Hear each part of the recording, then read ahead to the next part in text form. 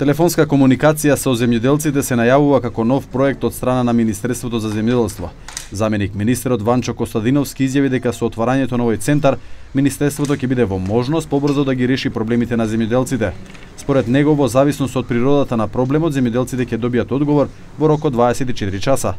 Покрај тоа што на лице место решававме поединечни проблеми, во зависност од тоа а,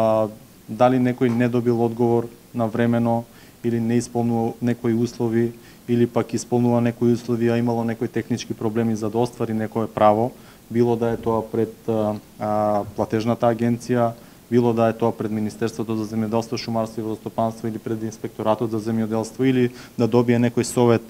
од страна на Агенцијата за потикнување и развој на земјоделието, туку на поголема група на земјоделци од одредено населено место да им решиме одреден проблем Како што изјави Костадиновски, ова министерство е при крај со проектот за средби со земјоделците. Според информациите кои ги презентира, до сега посетиле над 200 населени места.